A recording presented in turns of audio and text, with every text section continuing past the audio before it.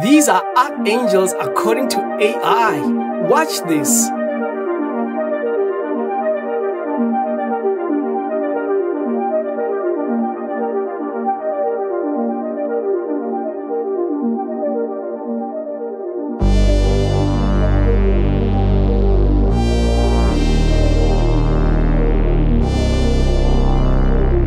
Type angels are real in the comments, subscribe or follow for more.